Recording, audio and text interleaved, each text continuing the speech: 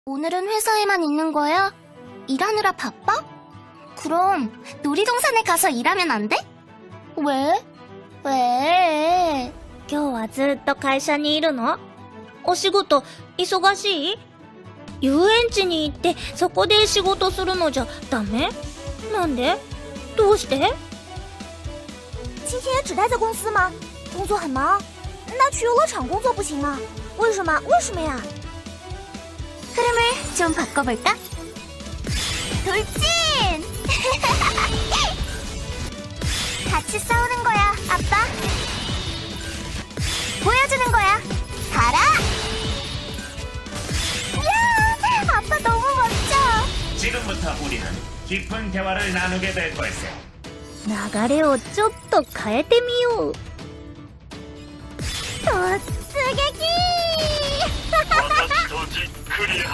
おうじゃないか。見せてやるんだ。いけ一緒に戦おうパパ。パパ。かっこいい。私とじっくり話し合おうじゃないか。爸爸有在看着吗？突击我们一起战斗，爸爸！让